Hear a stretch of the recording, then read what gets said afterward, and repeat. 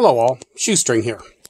What we're going to do today is do a complete solar setup for you for right around $200. All going to show you all the components and a general idea of how you might want to set it up. So, we're going to start out with the solar panel.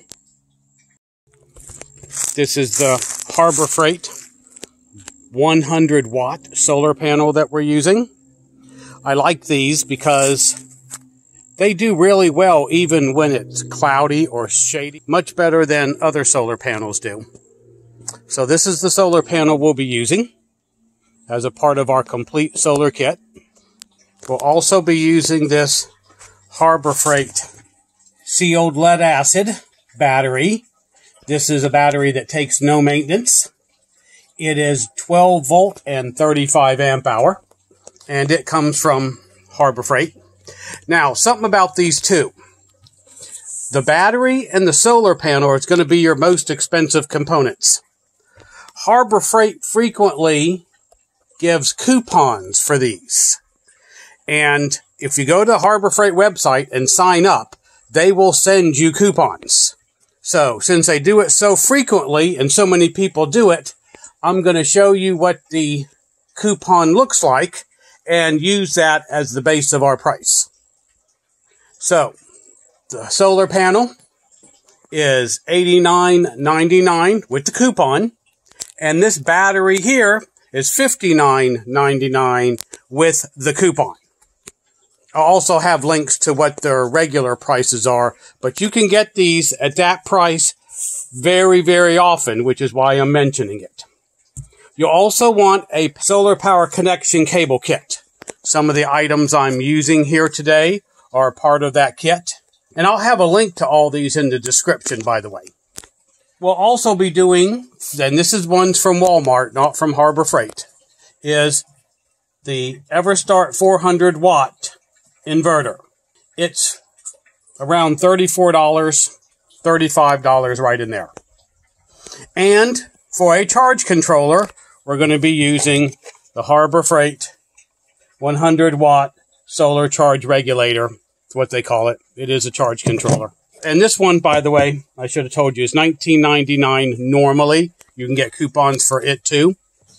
There are other ones that you can get cheaper. I've done several videos on less expensive ones, but I'm picking this one today because it is just so simple to use. Don't have to program it. Don't have to push any buttons. It just works. But remember, it's a 100 watt. Do not do more than a 100 watts through this. If you're going to do a solar panel or more than one solar panel that's more powerful than that, you want to do something else. Get a different type of charge controller. I picked this one, as I said, to be simple. And that's basically everything, all the components you need to make a complete solar kit. Yes, I've done inverter reviews for 200s and less that probably cost a little less than this, but it won't do near as much as this 400 watt will. 400 watts will run about anything you need to run in a small system to recharge, run computers, do small electronics. Now, of course, it won't run a refrigerator, it won't run a freezer, it won't run your CPAP machine, and it won't do the air conditioner or heater. But most things for a small system, this works just right. And now I'm going to show you how we're going to put these components together. We're going to start with the inverter. Take the inverter, make sure it gets connected, red to red, black to black. And then we are going to connect it to the battery.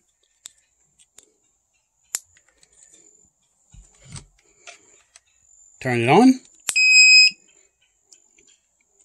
And as you can see, it comes on. Battery's 12.9. Doesn't show the load yet because we don't have it connected to anything. In here is where you simply put in your, plug in your devices, a couple USBs, and that is just how easy this is. I did an entire video on how this functions.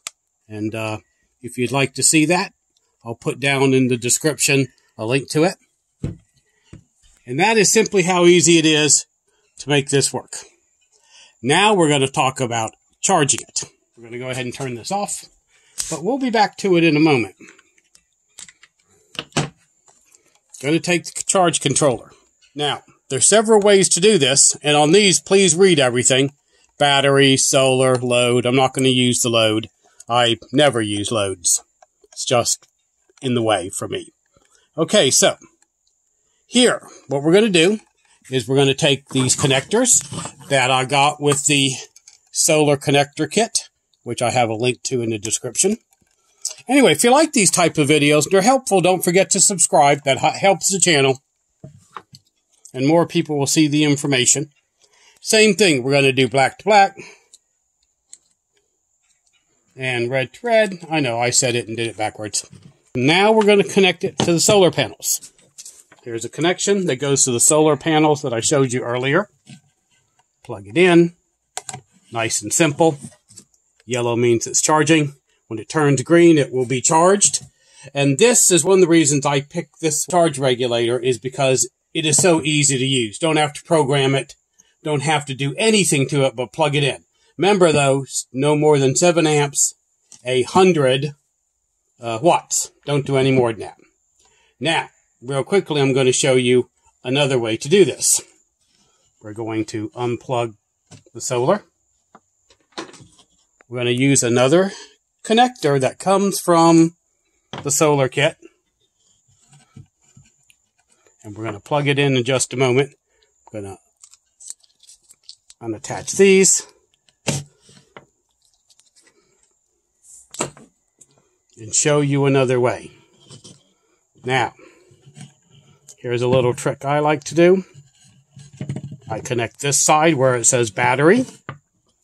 Then I take these connectors and I connect them to the battery with the inverter.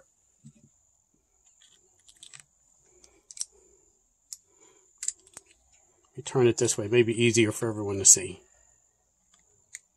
Take red, then come over to black, the inverter comes on. Then we take the same way we did before, solar panel, plug it in. Now it's charging. So if you want to do it this way during the day while the sun's shining and there's sunshine on your solar panel, you can use pa- battery power from the battery to the inverter and still keep your battery charged up, depending on how much you're using. So you could charge devices you could use your devices all plugged in successfully and the battery is still being charged. It's a little trick I like to do. I like to keep my batteries charged while I'm using them.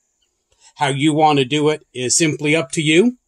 Tell me about your solar systems, how you have your solar set up. Put it down in the comments. If you have any questions about any of this, put it down in the comments as well.